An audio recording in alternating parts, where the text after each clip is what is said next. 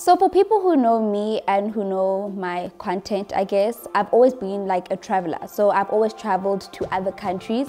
But that's another thing that this lockdown period has actually taught me is that local needs our support.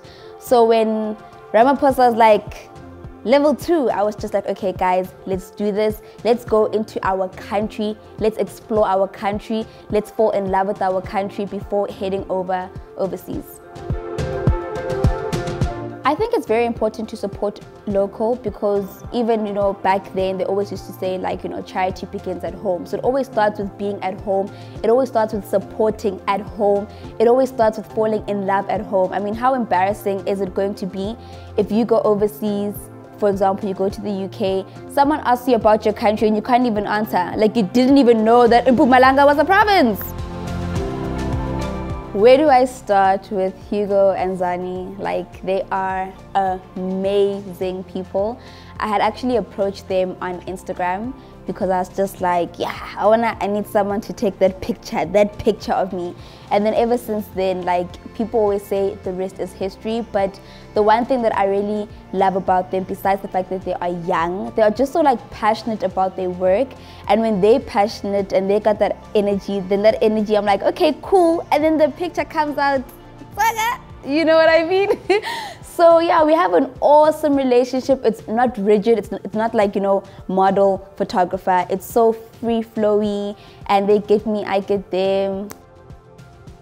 My favorite thing about shooting with Kat, where do I even start? So Kat is absolutely a joy to be around. She's just an energy that doesn't die down and I love it. She's professional, she's fun, and I just love working with her. So photography for me started out when I was a graphic design student back in 2014. So back then I got my first camera kit and I started to shoot some couples and from there on it just escalated into a small business.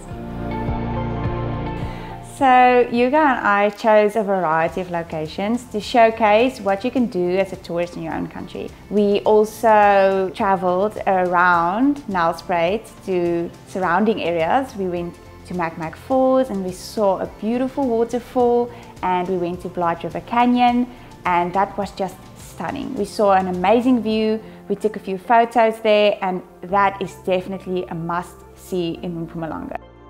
This is our home. This is where we live. We are not going anywhere, so we need to fall in love with it.